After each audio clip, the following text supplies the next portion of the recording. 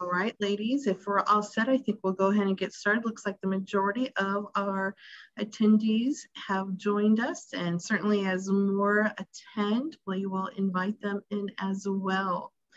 Well, again, welcome to today's Women's Mentoring Program. Whether you're a first time attendee or returning with us, we're happy to start the day with you. I'm Dion Neubauer, Director of the Chamber of Commerce, and today's program is focused, focused around one's personal resiliency plan. Our intergen intergenerational panel will share their personal strategies for building physical, emotional, and mental reserves that you can draw on under especially stressful circumstances. Today's program topic was created with the help of Julie Brown, who is recently retired and has been a past panelist and a moderator as well. You'll hear from her in just a moment. Our program today is meant to be a conversation, as if we are all gathered together in a living room. Generally, we're at the Birchaven Clubhouse, but today we're virtual with nearly 100 people joining us this morning. So again, a great start to the day. If during the program you have any questions or comments, please submit them in the chat area. And Julie, myself, and Emily Young, uh, and one of my teammates, will be monitoring that area. A couple of housekeeping notes.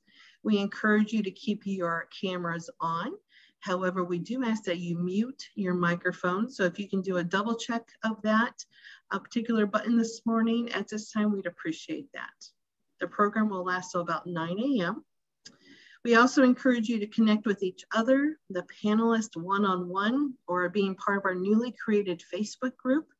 In this group, as well as the through the Chamber's newsletter and other social media outlets, will keep you informed about the next Women's Leadership Luncheon.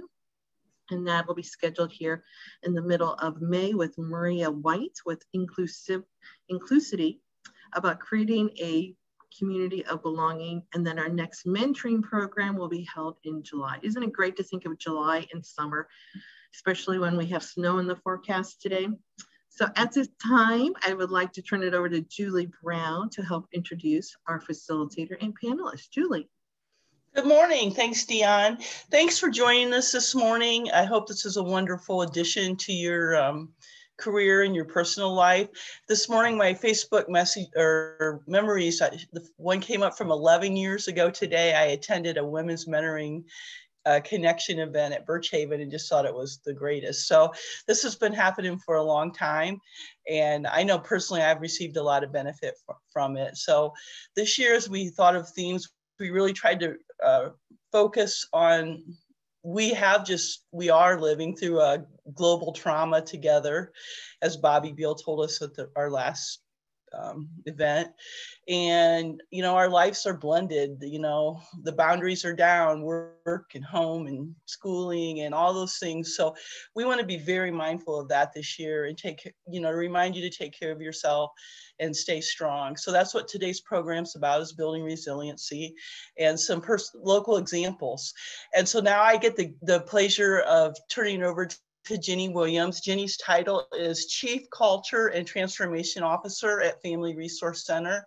Um, if you don't know Ginny, um, you need to figure out a way to do it. She's uh, she's just a wonderful human being, a great uh, mental health clinician, and I had the uh, honor of having her be my boss for a year and a half. So I'm going to turn over to Ginny, and I'm seriously, if you don't know Ginny yet, you really should know, get to know her. So it's all yours, Ginny.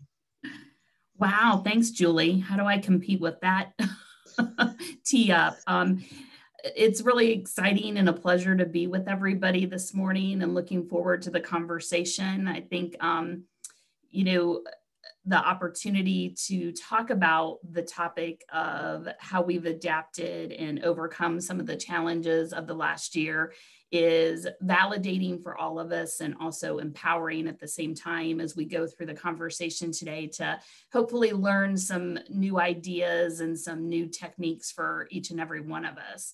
So I thought that we would start this morning by having the panelists introduce themselves. And with that introduction, I'm going to throw out a question.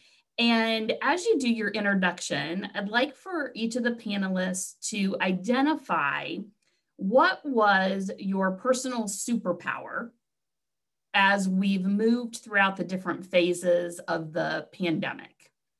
And so let's start with Susan Bunn.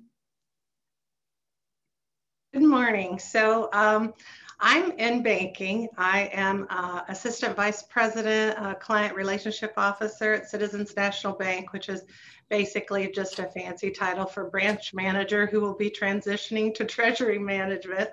Um, and I've been in banking 15 years. Um, as far as identifying my personal superpower, I did stay connected to different groups like Bible studies on Zoom, um, uh, as well as uh, I finished our uh, Hancock leadership during the um, pandemic. So I was able to stay connected with that. Um, and just connecting with my family who is close to me. I didn't um, distance myself from them and um, just making sure that I contacted them constantly. My sister is a licensed counselor and she's been a good resource for me. So just having resources that helped me throughout that time.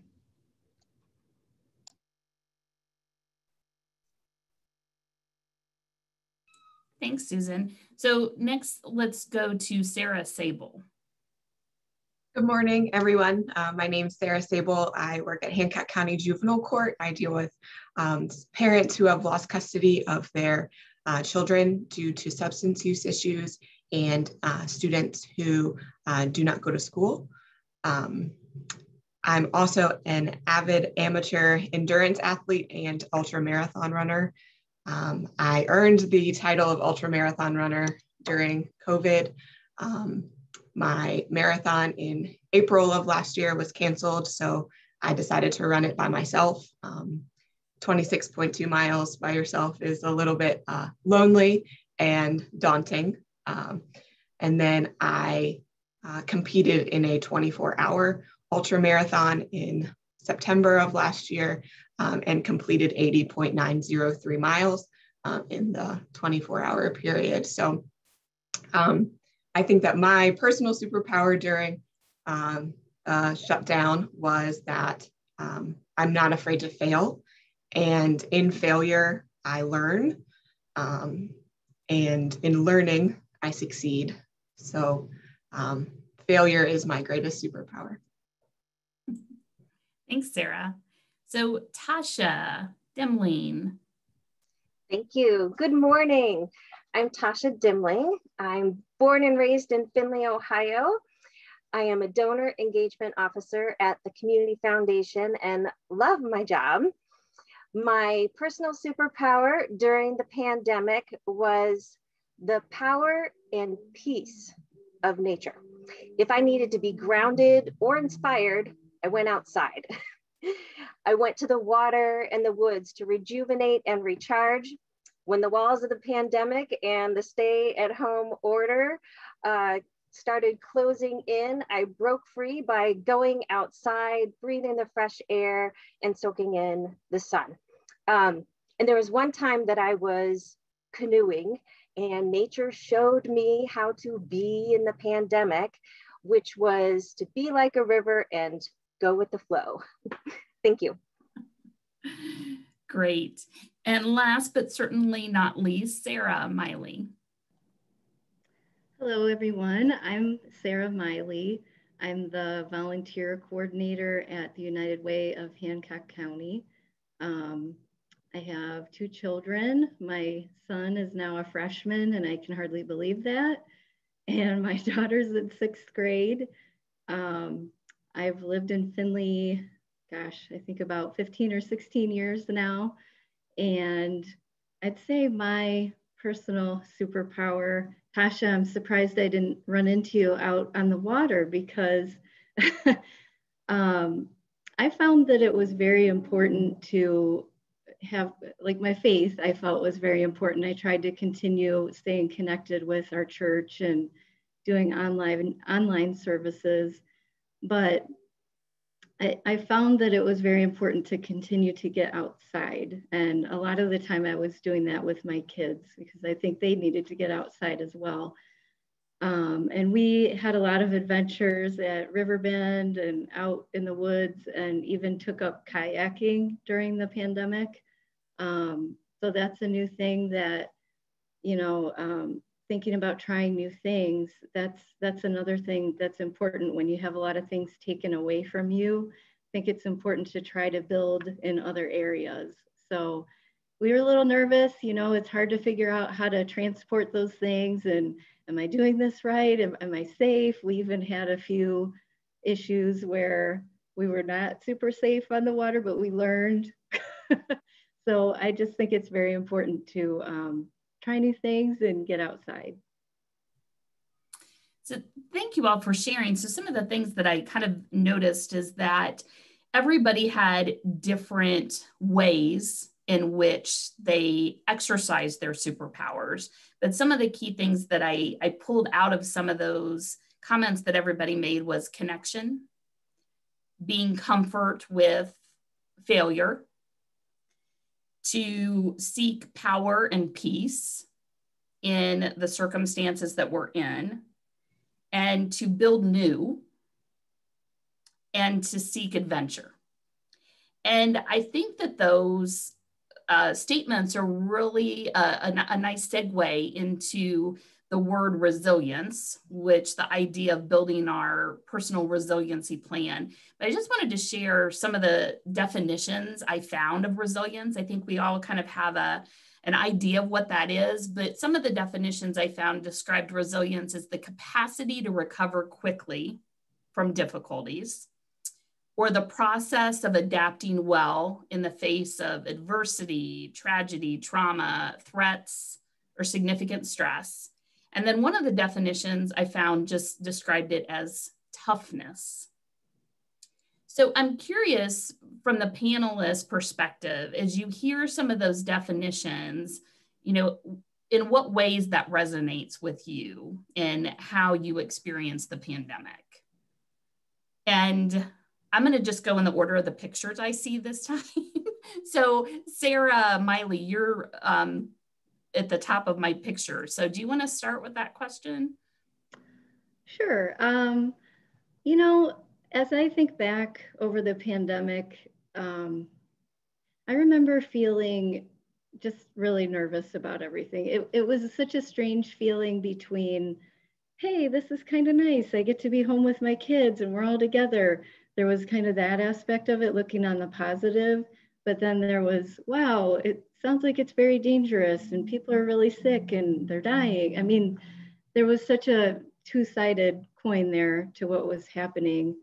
Um, so I feel like, as far as staying resilient, it, it was, I think, for a lot of us, learning that since we've never had to deal with something like this before, like learning how to cope with all the i mean all the new technology that we were all dealing with and we're still dealing with.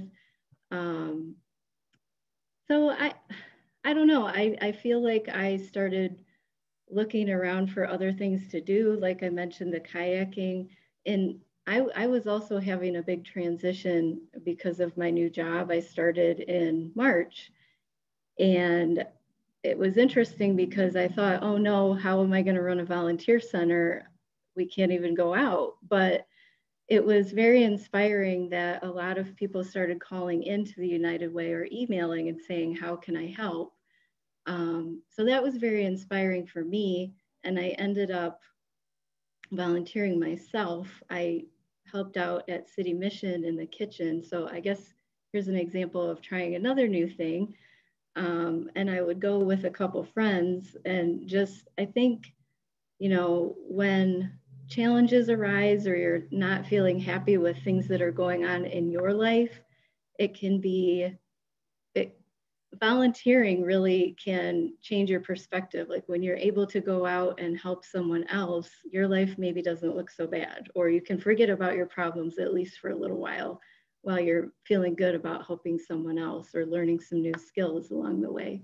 So that was kind of a roundabout answer, but no, I think that that's great, and I think you bring up a an excellent point too. That sometimes when we're stuck in um, the the muddiness of our own situations, whether that's fear, dealing with the pandemic, or some other type of life stressor, sometimes giving back to others is a powerful way to, you know, have a little bit of a break from what we're personally experiencing. So thanks for sharing that.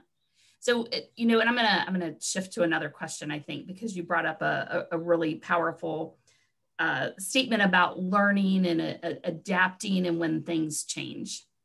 And I'm curious, and next I'm going to call on uh, Tasha to maybe share a little bit about how um, your superpower of being in nature and um, finding that power and peace provided you some of that balance day to day. Thank you. Yes. It just anytime that I got stressed, I would get in my car and I would drive out to the reservoir and just soak it all in. What was nice is that with the stay at home order and social distancing and things like that, nature wasn't taken away. And so I still had my outlets of fishing, which provides great zen for me. Everything just washes away when I am fishing.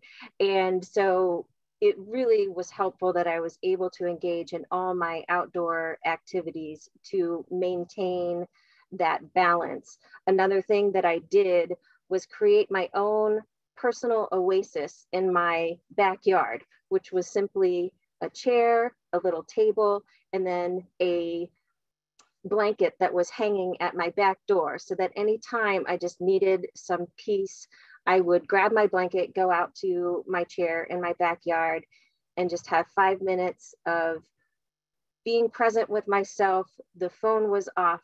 And again, everything was able to wash away and I had balance back. Thank you. Thank you. So, Sarah Sabol, did you identify with any of those definitions related to resilience? Yes. So, um, with um, just before the pandemic hit, I was in the middle of the Systems of Care Leadership Academy. And Ginny, um, you were my mentor with developing my personal brand um, and really developing a mantra for myself when I found myself in um, situations where I didn't know how to continue going on.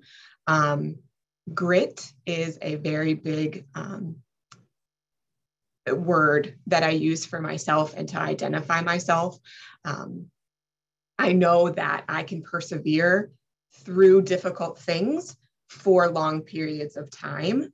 Um, and when that happens, that's when the growth happens. And with growth, you have gratitude um, to bring you back into the grit of having to persevere again. Um, so, grit, growth, gratitude is my personal mantra um, that I created under my personal brand. And um, definitely, those three simple words are something that I can repeat to myself when I find myself in these situations where I don't know if I can continue on um, when it's you know two o'clock in the morning and i'm still running and i still have eight hours to go um, i know that negative self-talk means that i have t- two enemies that i'm up against. So if i have positive self-talk of grit growth gratitude that will make me continue on. Great thanks.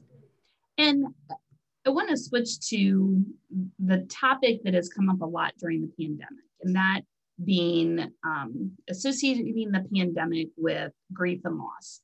And you know, one of the definitions that I really like associated with grief is that it is the conflicting feelings caused by an end of or change in a familiar pattern of behavior. And I want to start um, with Sarah Bunn and perhaps sharing with us, like whether it was during the pandemic or um, another personal situation that maybe you've encountered in your life, how you put into practice some of the things you mentioned, like connection and gathering resources and seeking input from others to adapt to that change and that, you know, what had been a familiar pattern of behavior. Sure. Um, well, you know, adapting is always a major um, key when you're dealing with grief. And um, loss. I lost a son five years ago, and I have five children. I hope. Sorry if I cry, but um, it's all it's always there. That grief is always there when you lose someone. Um, but it's it was about staying connected, like you said. I connected with my sister, with other people that were grieving.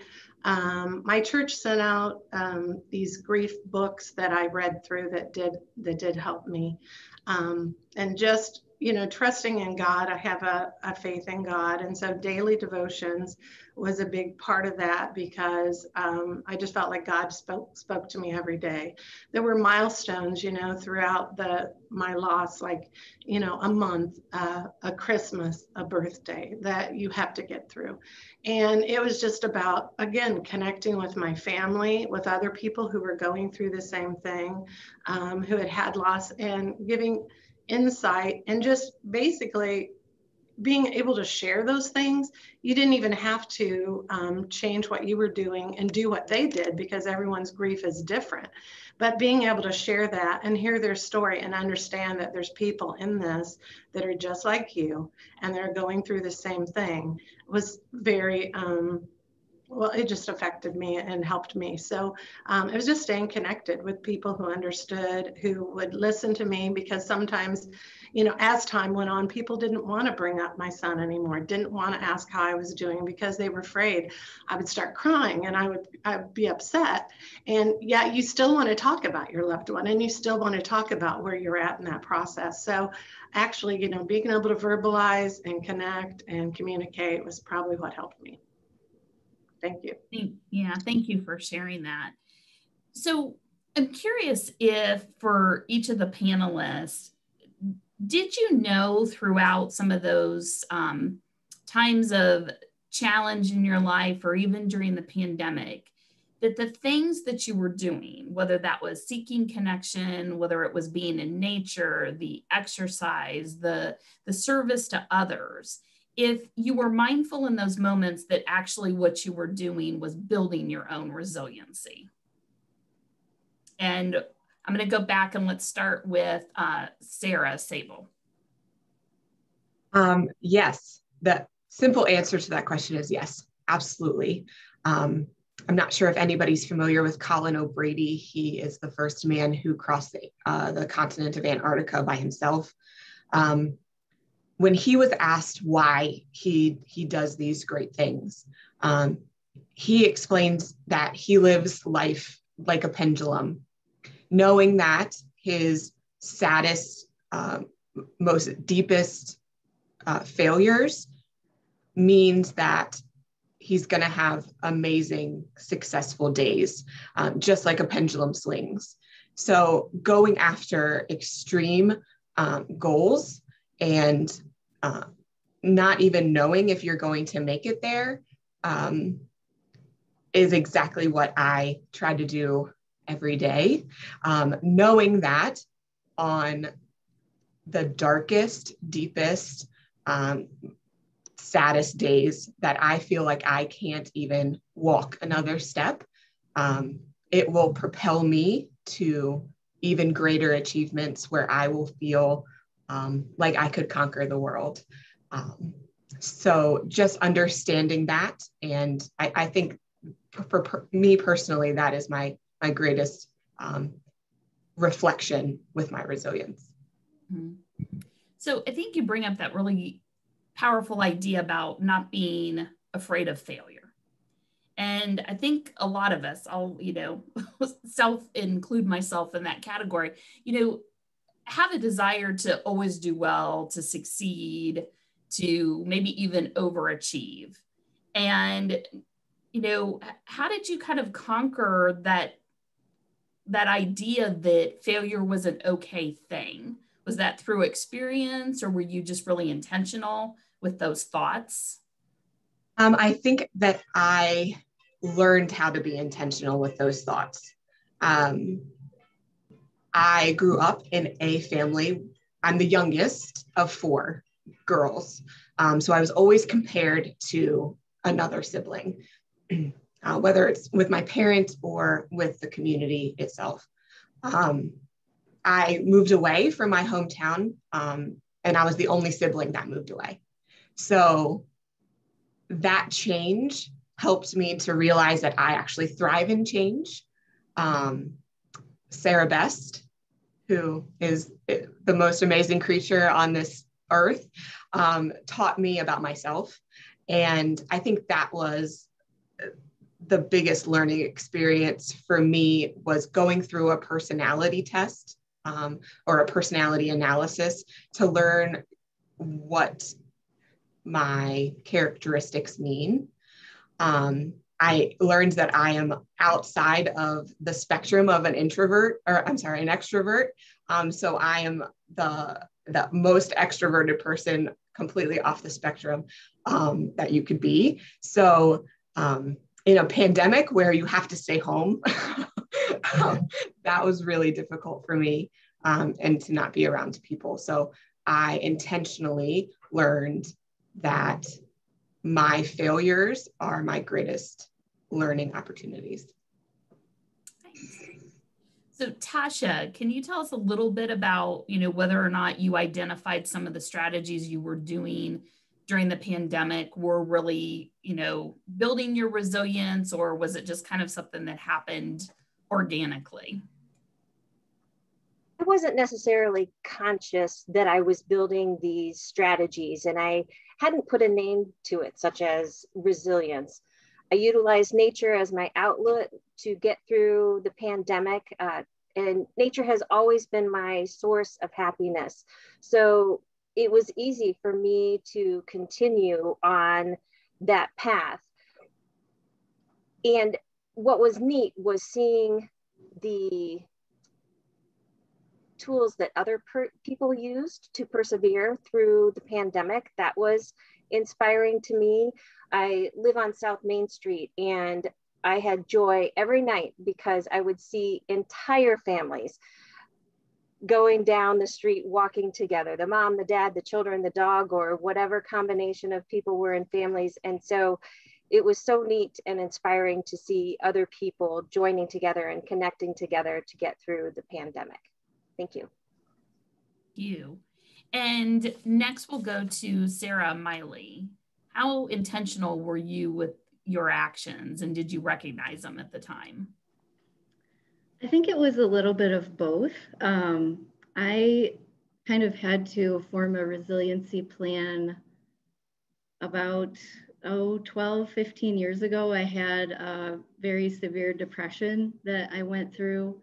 Um, and through that i learned an awful lot of things. I could probably talk about that for an hour. But focusing it a little bit more for this um, one, a few things I learned were to trust in myself. Um, you know that whatever I thought might be a good idea, why not go try it? Just give it a shot. So I, maybe that's even a, a, little bit related to not being afraid to fail, um, as Sarah was talking about. But another thing that I have had to continuously reinstate is taking a little time for myself. Um, I am actually a little more introverted and I my background is in journalism, so I love to write. Excuse me. And it's important for me to make sure that I set a little time aside to connect with myself, whether it's prayer or whether it's writing a little bit, journaling, so that I can just even kind of process how I'm feeling or how I'm doing, what I'm doing, what everyone around me is doing. It just is important to take that time out to, you know, I think we get so busy. We just all have very busy lives in this day and age. But even as a mom, um, I have the tendency at times to kind of focus all my time on them. Like, I need to take them here, or they need this, or we should all go for a walk together, and I should take them to try this out. So uh, making sure not to forget about myself and continuing to grow myself, I think is very important. Um, I was also going to add, I lost my mother, unfortunately, in February. And, you know, I was connecting with, Su was it Susan? Yes. um, I appreciated what you shared on how you deal with your grief because I'm still kind of figuring it out. Um, but one thing I try to do is when I do achieve something like that I thought was going to be difficult or you know, I do yoga every day. I think that helps me as well. Some, but when I when I make an achievement, or sometimes after a yoga practice, I, I dedicate it to my mom, and so I just that's a way that I feel like I can still connect with her. So that's all. yeah, no, thank you for sharing that, and I, I think you provide a really good reminder too that while we were all dealing with or you know even continue to deal with the kind of global trauma of the pandemic it it didn't stop other life events from from happening and then having to experience some of those in a very different uh, environment and perhaps not being able to have you know those um, connections or those uh, typical ways of even grieving, um, you know, it is a really good reminder that um, we all had those losses and those traumas kind of piling up on one another and on each and every one of right. us. So thank you for that reminder.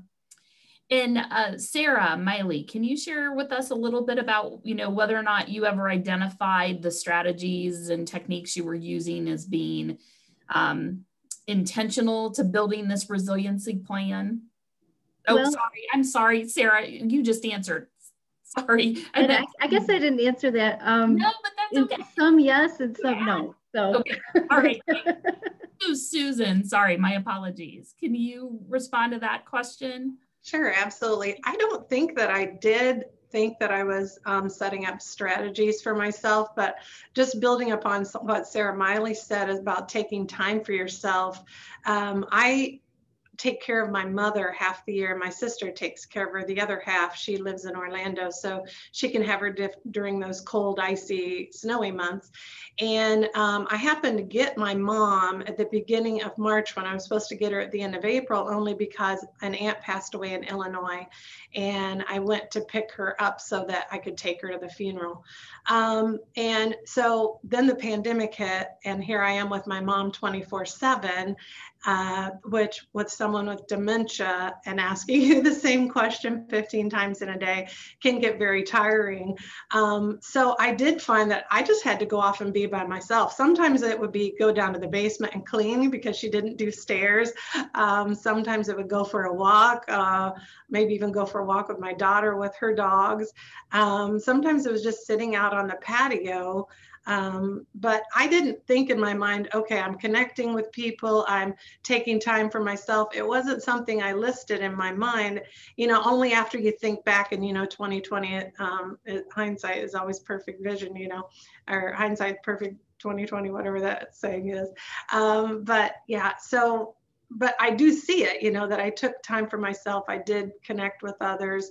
Um, and you know kept in touch with um, you know god through devotions and things like that. But no i don't i don't think i thought it was a strategy but it was it was definitely what helped me.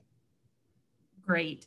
So the reason i asked that question is kind of um, building off the next question i want to ask everybody. And susan i'm going to start with you and we'll work our way back.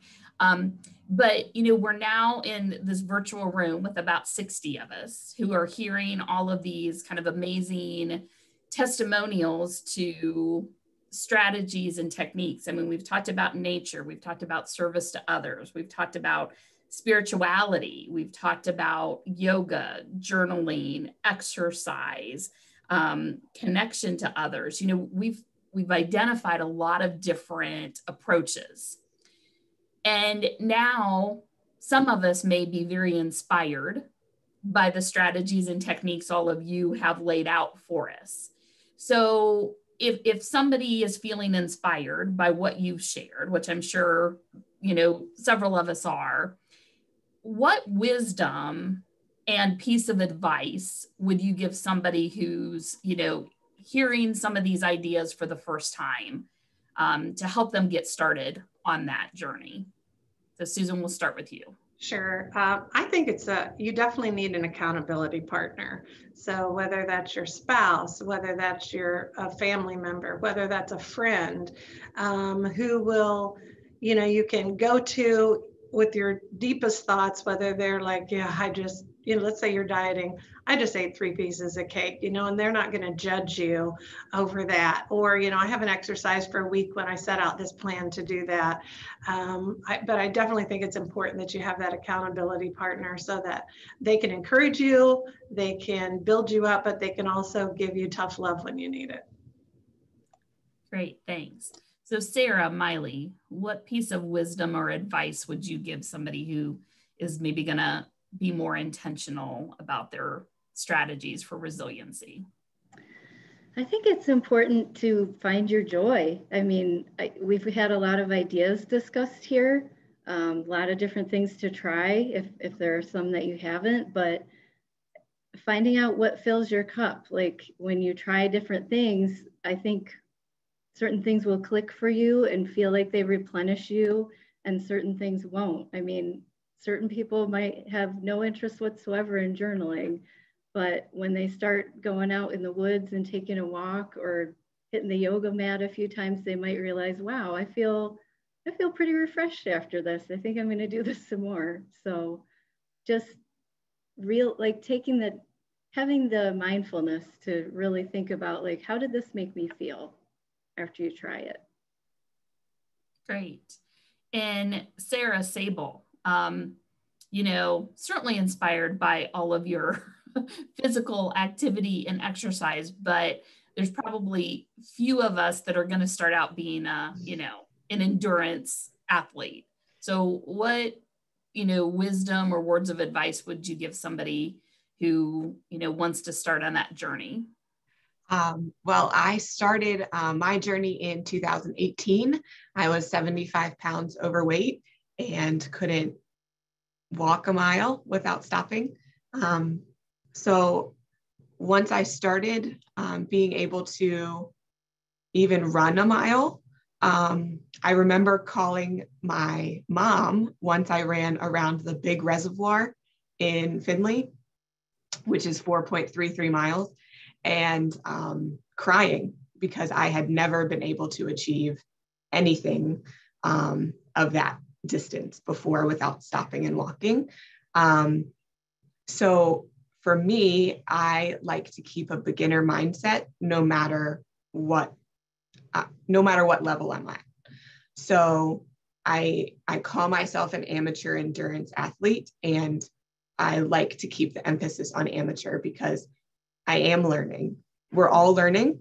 Um, I think even, you know, the most elite of the endurance athletes are still learning. And by keeping the beginner mindset that, um, you know, at, at any point I could be not able to walk a mile.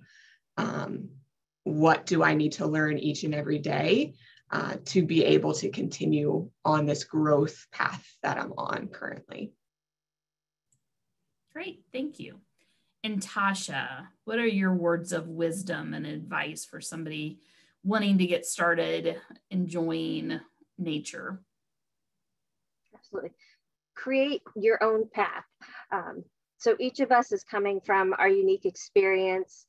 Take inspirations that speak to you, but experiment and play with everything and then take steps toward your true happiness the pandemic has been an opportunity to find out who you truly are and what we're certainly made of. Dig deep to find your personal superpower, whether it's nature or, or something else. It is unique only to you. Um, there was a quotation that I found that I wanted to make sure that I shared by John Muir. Of all the paths you take in life, make sure a few of them are dirt. Thank you.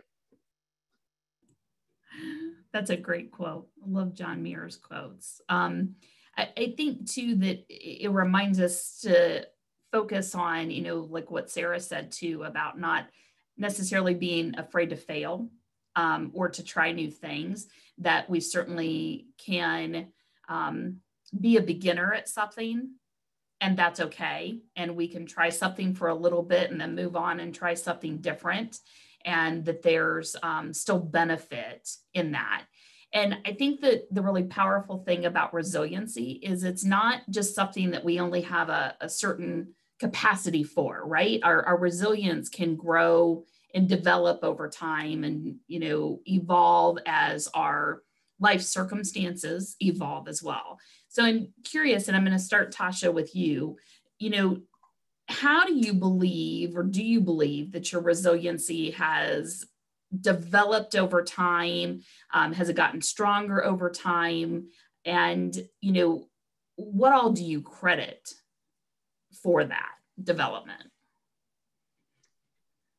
I think the biggest challenge through the pandemic for me, so again, life was fairly easy through the pandemic for me because I was able to still enjoy the things I truly love, which is being in nature and all of those activities that I've mentioned. The hardest part for me was the kind of grief and loss of friends and, sorry, loved ones. You know, my husband and I made a commitment that we would you know, follow the stay at home orders and keep in our household and things like that. And it has been so hard not to be connected to our friends and loved ones. Um, you know, Christmas over Zoom, thanks, but you know, it was really hard. And we usually go on this backpacking trip with our friends and we went with just each other. We usually go on a canoeing trip with friends, and we went with just each other. Um, it did build my resilience in the sense that um, my husband and I were newlyweds at the time during the pandemic, and it really got us closer together. And we developed a partnership together because you know, even though we weren't off in the Alaskan wilderness or anything like that, um, we still had you. we were in the woods without access to the car. We were going down rapids in a canoe, and if anything happened, it was on us. So I really build a resilience with uh, my husband and partner in life. And so that was unique to the pandemic. Thank you. Yeah, absolutely. Sarah Sabol, how do you think your resiliency has evolved over time and um, you know, what all do you contribute to that growth? This is a very complicated question for me.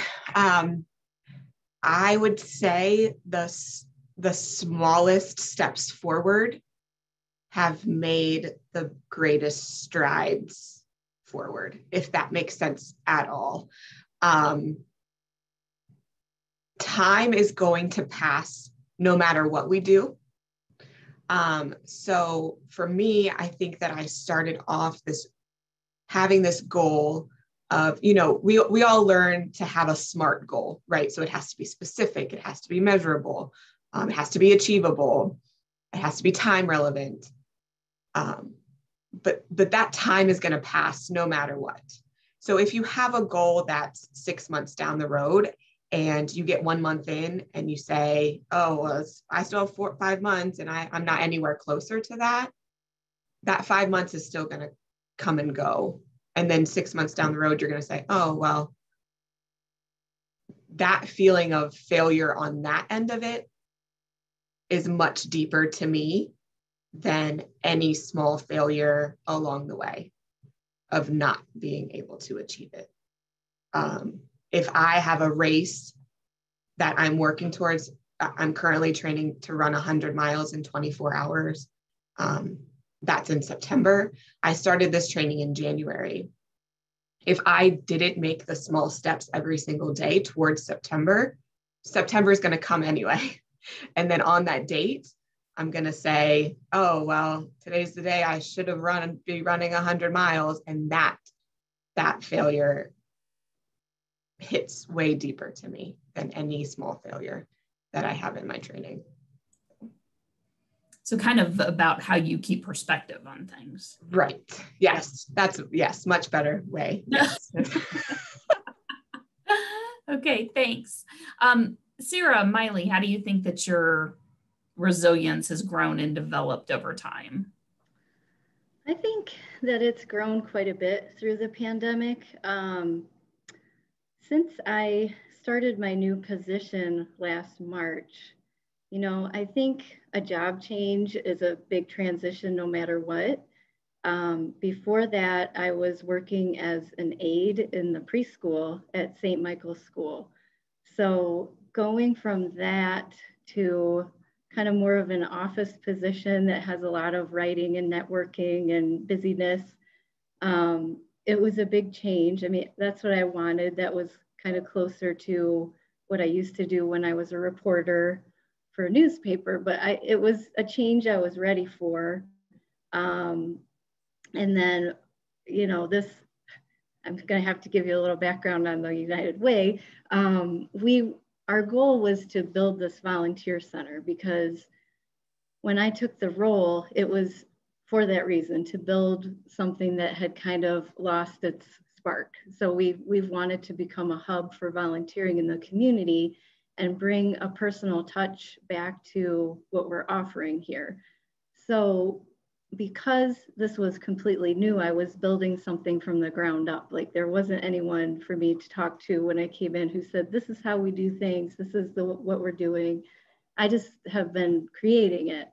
And I think that that sounded very exciting to me when I took the position. And then the pandemic happened and there was this mostly working from home, but then, you know, going into the office sometimes and learning different ways to try to reach out to volunteers and to help with the kinds of projects that were coming across my desk because with the pandemic, a lot of needs did come up, like with the um, health department and just at, at various agencies that we serve. So that was a little bit difficult because I found I found myself stressing out like how am I going to do this? Like I don't even know what I'm doing and I'm home.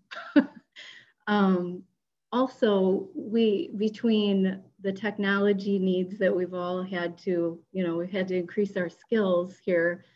We had a lot of different technology changes within our workplace. Like we kept changing softwares and we were upgrading this and that. And I that is very hard for me. That's not my favorite technology. so kind of kind of like what Sarah said, I just kept trying to tell myself, you know what you want this to be, it's going to get better. You just have to keep fighting through this. And so I, I felt that having confidence in myself that eventually I would get through all these changes, whether it was trying to figure out how to work from home or trying to learn how to use this new software I think I just felt like there would be a time down in the future that things would be running smoothly. And fortunately, we're getting there. I feel like um, things are really coming together with my position. It's been nice that we've been in person at work, but um, I think through that process, I had to let go a little bit from, I'm, I'm a little bit of a perfectionist. So I had to let go of some of the perfection and just make sure I always stayed positive and kept up my faith in both above and myself. Um, and with the resiliency, I think, you know, having that awareness of what am I, you know, not letting it pass without a little celebration. Hey, I actually got volunteers for this event, or wow, I figured out how to use this. I mean, make a big deal out of, of your small successes so that you can build upon them and, and stay positive. Okay, thanks. And Susan, how do you think your endurance is a, a your resilience, excuse me, I got stuck on uh, the, the words that kept coming to my mind as Sarah was talking was endurance and perseverance. um, but for Susan, how do you think that your resilience has grown and developed and evolved over time? Um, for me, I think it's just I'm learning from my mistakes. So I'm kind of like Sarah. I'm a perfectionist. I'm really hard on myself when I make a mistake, and I will try to beat myself up for days about it. Um, and believe me when I say I've had five children, I'll be 60 this year. I've made a lot of mistakes over my life. And so it's just about what is the major thing I can learn from that mistake? And and really focusing on that and then finding a plan for okay, how can I change what I did or how I felt, what new perspective can I learn so that I don't make that mistake again. Because sometimes your mistakes hurt others and sometimes they hurt yourself. Um, and sometimes they hurt everyone, I guess. But it's just, you know, looking at it, evaluating, and then what can I learn from that? And then what can I change to make it better? Ginny, I'm going to interject here for just a moment and just share that we're nearing the end. So okay. let you know. Okay, so perfect timing because my last question is one even for um, everybody watching to kind of participate in. And some of the you know literature on resilience talks about the five pillars of resilience, and that those are self-awareness, self-care, purpose, mindfulness, and positive relationships. And the idea that we can build our resilience by even honing in and focusing on one of those pillars to try something new, to, you know, to make a commitment to expand that pillar for ourselves. So I want to like work through our panelists, but I'm a big believer in that if we can name it, we can manage it, manage it kind of approach. And I think somebody also mentioned like the power of an accountability partner. But I'd encourage everybody who's watching, even to put in the chat, like which one of those pillars do you feel at this time that you could commit to doing something small to improve upon or to add something into your world to make that pillar a little bit stronger for yourself? So I'll start with Susan. Like, which one of those pillars could you see yourself kind of adding to, even though, you know, obviously we've heard about your resilience and your strength and everything um, that you do to, to be strong and to have that resiliency. But is there something that speaks to you with one of those pillars where you think, oh, I could add to that one? Um, definitely personal relationship because, you know, before the pandemic, I did volunteer um, at different um, for different nonprofits. And i've kind of let that go throughout the pandemic. And so that's really something i want to get back involved in um, and not just having personal relationships that benefit me you know looking towards personal relationships that i can invest in.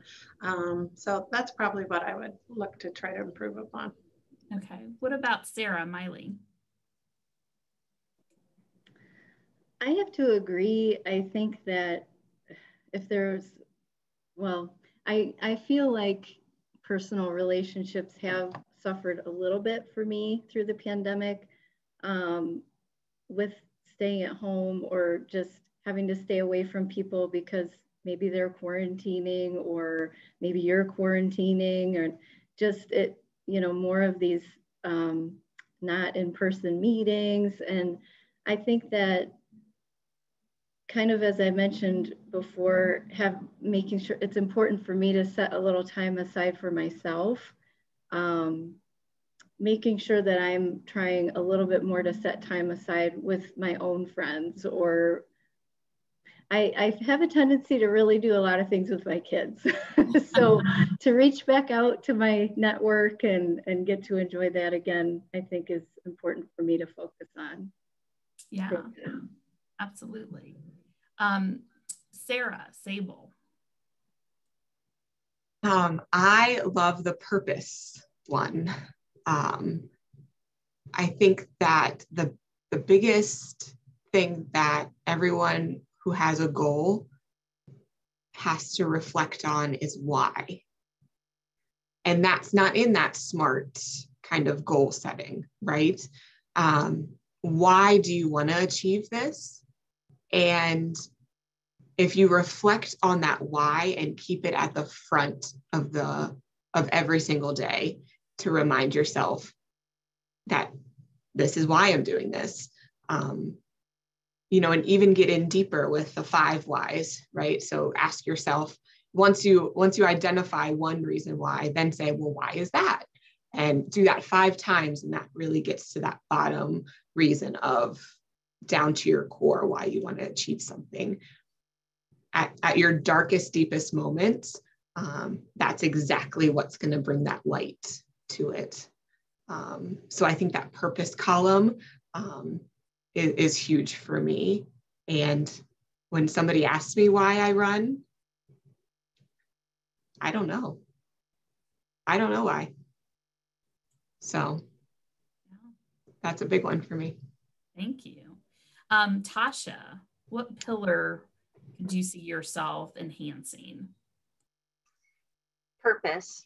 I believe purpose is at the root of everything that we do. It's like a tree and everything grows from there. So when you find your purpose, when you're connected to your purpose, everything flows from there. Great, thank you. I also want to express, I, I think, a, a, very sincere and appreciative thank you to all the panelists in terms of the personal vulnerability that you shared um, with your experiences and the journey that you've had throughout life and during the pandemic. I think that that's also a thing that binds us all together you know, is that sometimes um, we're a little more reluctant to share some of those experiences. And I think that there's a lot of power that happens in sharing those openly because they're definitely, um, you know, part of what makes us who we are and where we gain some of that strength from. So thank you to everybody. And Dion, I can turn it back over to you if you've got some other wrap up things to do, but thank you all for sharing. Thank you. Ginny, thank you so much for, for facilitating our panel. And special thanks for Julie for coming into our lives with helping us to identify our themes this year. So appreciative to her and Sarah, Tasha, Sarah, and Susan. Thank you for sharing about yourself and, and, just being you. I feel like we're just a great um, circle of friends this morning. And in fact, if we can just replicate this every morning, I will have a great day every single morning. I just, I think it just emphasizes the, the purpose of today's program is all about connections. And that was talked about earlier on. So today's Women's Mentoring Connection, I hope it provided some insight for you. And I encourage you to follow follow us along, the Chamber's Women's Leadership Group, for more programming. And again, I encourage you to follow up with the panelists one-on-one if you have anything you'd like to um, chat with them about as well. I'm sure they would be open to that. So ladies, as we end our program today, the question that we started with was, what is your personal superpower? So I encourage you, take some time for yourself today, even if it's just a couple minutes, and kind of sit with that and try and answer that for yourself. So with that, I will leave you and I enjoyed spending the time this morning together. Thanks again to our panelists and facilitator and we will see you next time. Thank you.